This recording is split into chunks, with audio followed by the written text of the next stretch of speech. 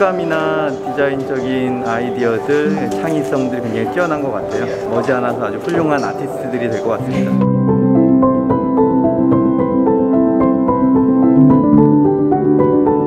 되게 디테일하게 잘 만들었어요. 그래서 이제 좋은 작품 만들어줬으니까 바톤 이어받아서 제가 잘 마무리할 수 있도록 하겠습니다.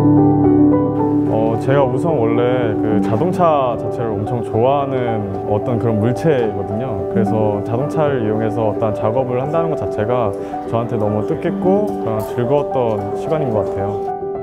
학생분들이랑 같이 할 때는 학생분들도 굉장히 잘 따라와 줬고 또 되게 다양한 그런 패턴들과 색감들을 봤거든요. 근데 마찬가지로 ambassador 분들도 다양하게 좀 시도를 많이 하시는 것 같고 스티커 붙이는 거라든지 그런 것들도 되게 재밌게 하시는 것 같아서 좋았던 것 같아요.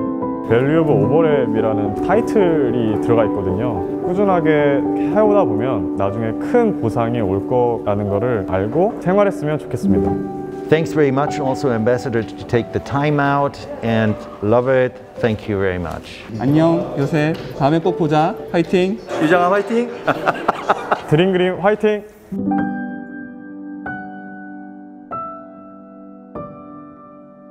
살짝 한번 웃어주세요. 하나, 둘.